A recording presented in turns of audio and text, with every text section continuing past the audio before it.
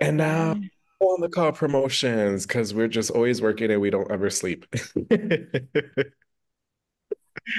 So, of course, we have, let me promote this at our second end of summer showcase. We are very excited. We're doing it at the end of summer this year because we have something else going on in December.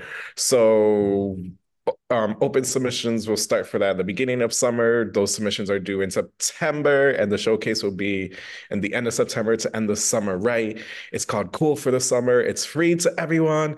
Um, and yeah, it's our next showcase. Get ready for it. Free showcase, share it, promote it, tell your studios. We want to see everything. Um, and then what else does Pole on the Call have going on? Oh, yes. We have dun, dun, dun, our new freebie. Um, it is how to start your own pole dance podcast or blog.